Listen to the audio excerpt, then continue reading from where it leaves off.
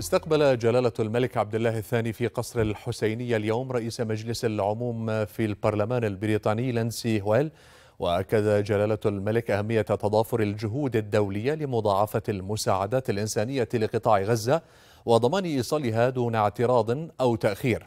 وجدد جلالته دعوته للمجتمع الدولي للتحرك بشكل عاجل لوقف تفاقم الكارثة الإنسانية بغزة ومواصلة دعم وكالة الأمم المتحدة لإغاثة وتشغيل اللاجئين الفلسطينيين الأونروا وذلك باعتبارها شريان الحياة لنحو مليوني فلسطيني في غزة. وشدد جلالة الملك على ضرورة التوصل إلى وقف فوري ودائم لإطلاق النار في غزة وحماية المدنيين منبها إلى خطورة عواقب العملية العسكرية الإسرائيلية في رفح.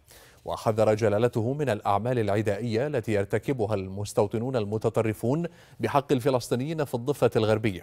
وجدد جلالة الملك التأكيد على ضرورة إيجاد أفق سياسي لتحقيق السلام العادل والشامل على أساس حل الدولتين مثمنا موقف المملكة المتحدة الداعمة لوقف إطلاق النار في غزة وجهودها في تقديم المساعدات الإنسانية لأهالي القطاع.